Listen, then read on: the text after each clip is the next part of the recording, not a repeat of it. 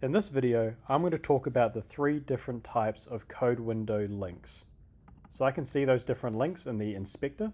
We have an activation, a deactivation, and an exclusive link. I'm going to talk about the shortcuts for these three things, and also talk about some common um, uses of these different links. So the first one's the activation link.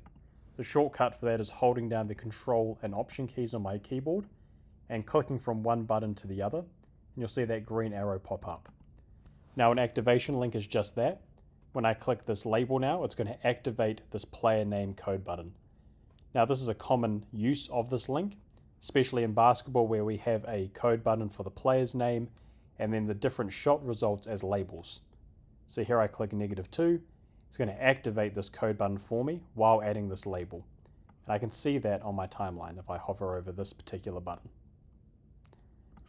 Next one is deactivation link. That is the opposite of an activation link where it turns off another button.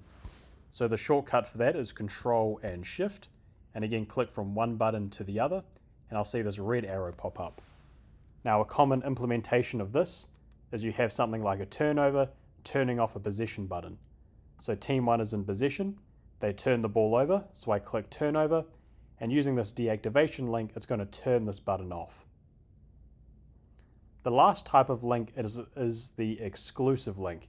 Now this one gets a little bit more complicated because there's kind of two different uses for it. When I have two code buttons, so here we have team 1 and team 2 being two different code buttons. If I had active, uh, an exclusive link between these two buttons, now the shortcut for an exclusive link is holding down just the control key. It will be this blue line.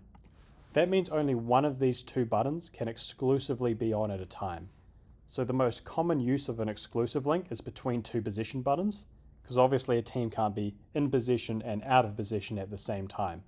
So team 1 is in position, and because it's exclusively linked to team 2, when I click team 2, it's going to turn off team 1. However, there is another use for the exclusive link. When you exclusively link a label to a code button, there is a different function. So again, I'm going to hold down the control button and add minus 2, oh, I need to be in edit mode, minus 2 to player name with an exclusive link. Now you'll actually see there's a color difference between the two exclusive links. You'll see that more clearly up here. So between two code buttons, this dark blue. Between a label and a code button, it's this light blue.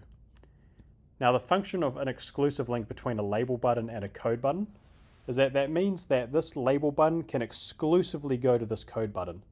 So typically labels connect themselves to whatever button is open or the last button pushed. But you'll see here, even if I have team 1 open or team 1 pushed down, when I click negative 2 here, even though this button is on, because negative 2 is exclusively linked to player name, it will only attach itself to the player name button and not team 1. So now if I deselect team 1 and I hover over that, you'll see negative 2 is not connected to team 1, but it is connected to player name. And that's because it was exclusively linked to player name. So really there's like three and a half different types of links, not just three. Now the last thing I want to talk about is in your toolbar up here at the very top, when you first open Sportscode, by default, you won't have this option up here to hide, um, to hide your links, have your links below the buttons, or have your links above the buttons. You won't have this option at all. So to show you how to get this option, if you right click this gray toolbar and go customize toolbar, you'll be able to drag this links option up here into the toolbar. So those, those are the three or three and a half different types of links in Sportscode code windows.